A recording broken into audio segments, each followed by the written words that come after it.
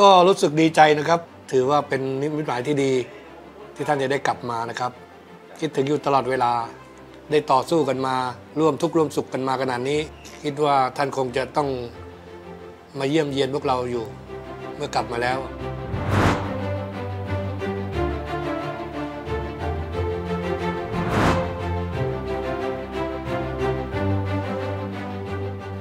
ก็รู้สึกดีใจนะครับ เพราะว่า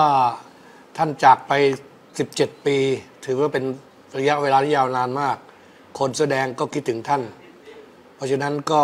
ถือว่าเป็นนิมิตหมายที่ดีที่ท่านจะได้กลับมานะครับ ลึกๆยังคิดถึงท่านอยู่ไหมครับ ยังคิดถึงอยู่ครับ คิดถึงอยู่ตลอดเวลา ที่ผ่านมาเนี่ยเคยร่วมอุดมการณ์ต่อสู้กับท่านมาเรื่องอะไรบ้างครับ ก็ในเรื่องการช่วยเหลือพี่น้องประชาชนนี่แหละ ท่านก็ห่วงใยชาวบ้านพูดถึง เรื่องประชาธิปไตยนะครับ เรื่องของที่เคยที่เคยคือนายก็เป็นห่วงเรื่องเนี้ยเรื่องเรื่องประชาธิปไตยเรื่องการต่อสู้ให้ได้มาซึ่งระบอบประชาธิปไตย สิ่งเหล่านี้เป็นความประทับใจที่เราได้ร่วมงานกันมา ก็คงจะต้องกลับมาเลี้ยงหลานแหละครับเพราะหลานมีตั้งหลายหลายคนอืมครับฝากอะไรถึงท่านนายกทักษิณนะครับ หากท่านยังฟังอยู่ครับ ก็คิดว่าท่านคงจะไม่ลืมพวกเราหรอกครับ ได้ต่อสู้กันมา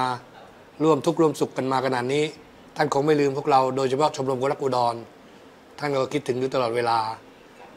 คิดว่าท่านคงจะต้องมาเยี่ยมเยียนพวกเราอยู่เมื่อกลับมาแล้ว